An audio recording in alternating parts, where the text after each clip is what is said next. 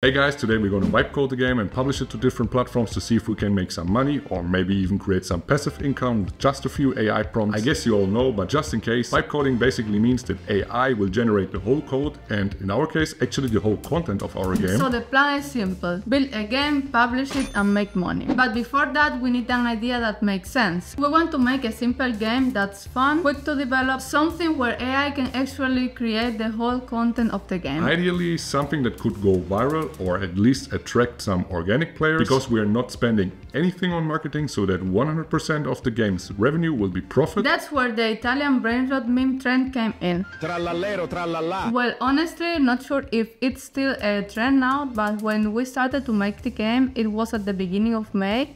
So our idea was to make a trivia game based on the brain rot, where the main question is who is this character. For gameplay, we wanted to play it to stand on a platform surrounded by sharks.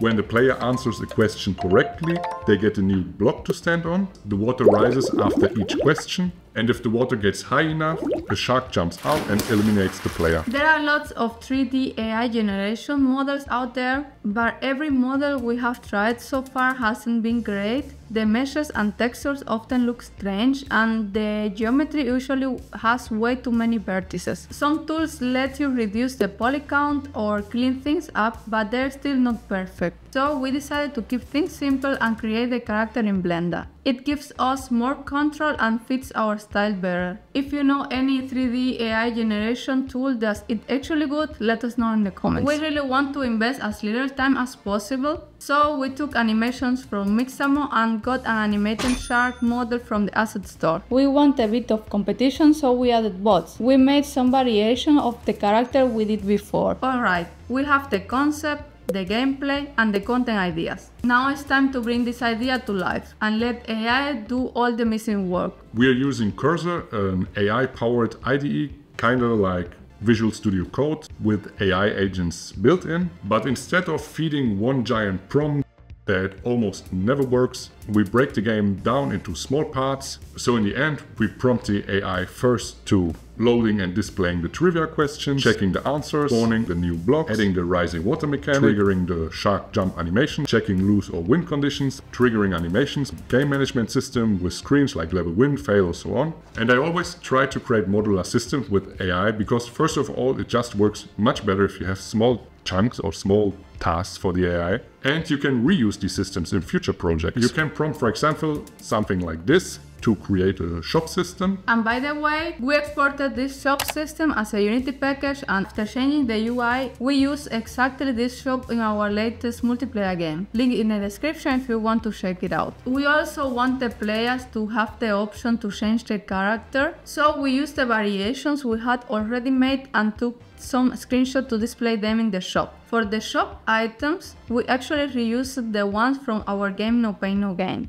One thing to mention, the longer the chat becomes with AI, the higher is the probability of hallucination, meaning that the AI will just throw out garbage. So I always try to limit one chat to one task or one system and if everything is done and working, I switch to a new chat. Another super important thing is to always use version control. We use GitHub and AI can also help you create meaningful commit messages based on your changes and make always sure to submit your working changes. If you made some changes with AI and everything works, just submit it to GitHub. We now have a functional game, but it's still empty. The next big step is the content of the game. We want 500 questions in 7 different languages. Step 1 Graphics. I don't know how many brain rots exist exactly, but there are a bunch of them and we need an image for everyone. AI generated another Python script that scrapped and downloaded all images from a specific website automatically. Step 2 ask ChatGPT to generate the JSON files with all the questions. We started with English only to test, and it sounds super simple, but this was actually one of the hardest parts of the whole game,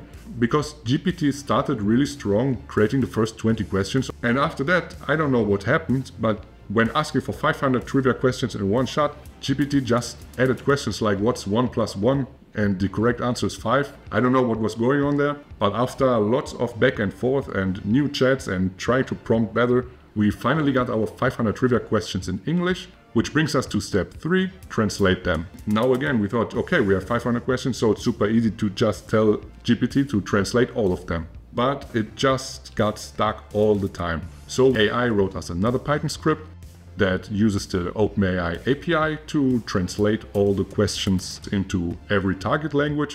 And this actually costed us a bit of money. It was like $1.50, so not that much. So right now we are at minus minus seven dollars. Let's talk about how we are actually going to make some money from there this. There are different ways to monetize a game, but basically you either make your game premium, that means players have to pay before playing, or you make it for free. We will publish our game for free on the web, so to monetize it, we will place interstitial ads, these little pop-up ads that are really annoying in between the gameplays but they have an okay CPM or the revenue you get per thousand impressions. Banner ads are an option, but they have a really low CPM. And the ones with the highest CPM are rewarded ads, which players actively choose to watch in order to get a reward for watching them. With everything done, gameplay, content, monetization, it's finally time to publish the game. We don't publish a game to mobile because in general it's really hard to get organic downloads and we don't want to spend any money on marketing so we would need to optimize the app stores for keywords and even then it's not a warranty that we even get one download. So instead, we upload the game to different web platforms. The main difference is that if you upload your game to a web platform, your game gets shown in the new games tab so that you get a minimum of a few thousand free impressions for your game. And depending on how many users click on it and how long they play the game, your game gets more visibility on these sites. There are a bunch of platforms out there. Each one is a bit different with different users, different SDKs, different publishing processes. Some want first to test your game to a small audience, while others just accept your game. And a game can be really good on one platform, but be really bad on another platform. It can also be good on mobile and bad on web. So we try to publish this game on Crazy Games with around 40 million monthly active users, Poki with around 90 million monthly active users, Game Distribution with around 300 million monthly active users. Game Distribution is basically, like the name says, distribution platform. Uploading your game there exposes the game to other publishers or websites and they can pick your games. And we will publish our game to Yandex with around 45 million monthly users. The retention, playtime, engagement not only differs from platform to platform, but is also a bit different comparing it to mobile. On mobile, games considered to be good with around 40 minutes plus playtime, 45 percent plus day 1 retention and to even look at day 7, day 30, day 90, day 60, whatever long-term retention. But on web, a game with depending on the platform, 5 minutes plus on one platform or 10 minutes plus playtime on another platform is already considered to be solid and a day 1 retention of 10% is pretty decent. So it's more about getting a high volume of players. And the revenue is also a bit different on web compared to mobile. On mobile, you usually look at uh, CPM, cost per mil or revenue per 1000 ad impressions of around 10 to 20 dollars or can be higher can be lower depending on what kind of ad the user watches but on web you rather look at the revenue per 1000 gameplays. It also depends on how many ads the users watch in your game but based on our experience, we see between 50 cents and $5 revenue per thousand gameplays profit for us after the platform's cut, because every platform also takes their cut. It's somewhere between 40 to 70%. Okay, so now let's talk about the big question you're all waiting for. How much money did our game make?